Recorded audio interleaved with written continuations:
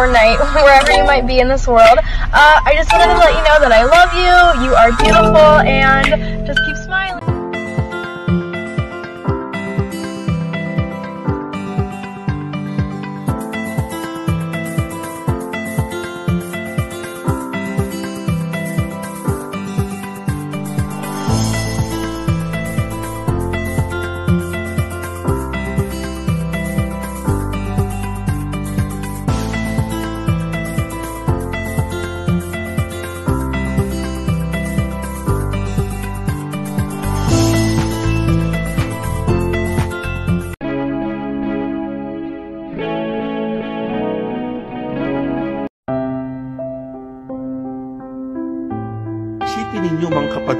gaanong stress yung inabot ng mga apostol noon.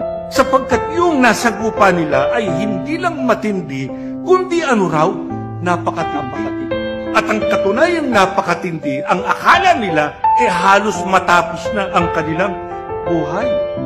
Pero, kasi, lingkod ng Diyos eh.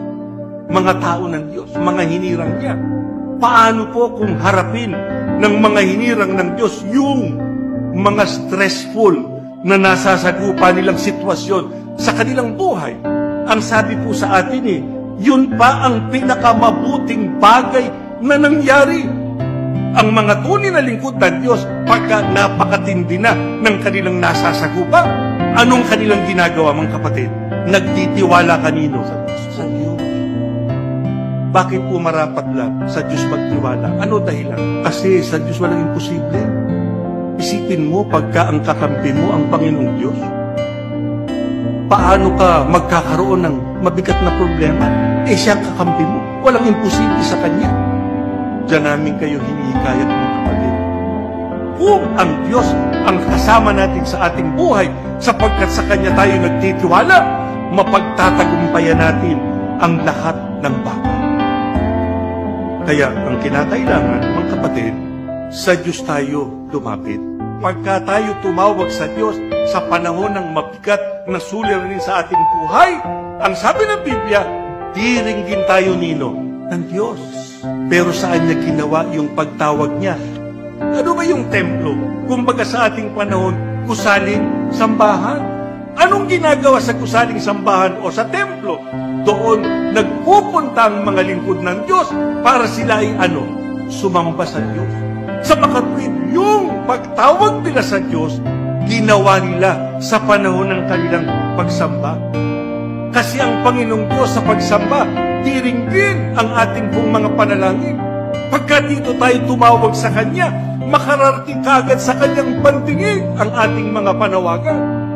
Doon natin matatamo ang Kanyang pagtulong. Kaya ang mga tunay na lingkod ng Diyos, anuman, gaano man kabigat ang kanilang nasasagupa, hindi sila tumitigil sa kanilang pagsamba. Kaya walang dahilan para tayo mawala ng pag-asa. Walang dahilan para tayo manghina. Kung mayroong mabigat na problema, ang kailangan lang lalong patatagin at patibayin ang ating pagtitiwala sa Diyos.